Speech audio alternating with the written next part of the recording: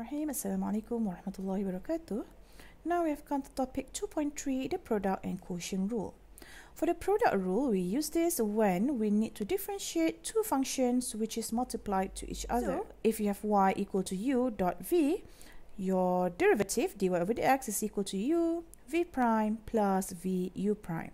So the rhythm here is you need to keep one u, differentiate one v prime, plus keep another one, v, differentiate another one, u prime. So the next one, we need to see the quotient rule. So when should you use quotient rule? When you need to differentiate a function which is a fraction. So for example, you have function y equal to u over v.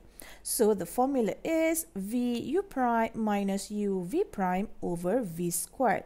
So how do you get this?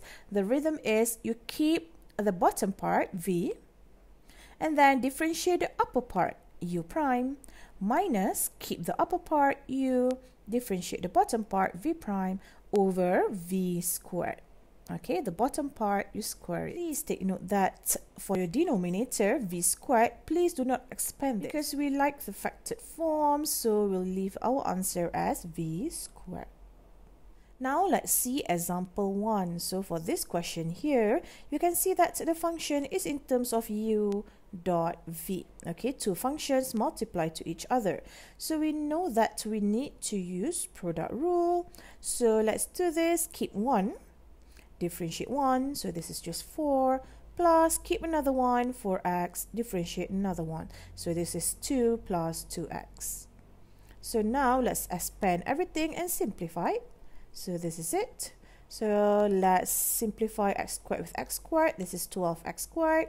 And simplify x with x. This is plus 16x. So you can see that the common term is 4x. Take it out, factorize it, and inside here is just 3x plus 4. Therefore, this is your final answer.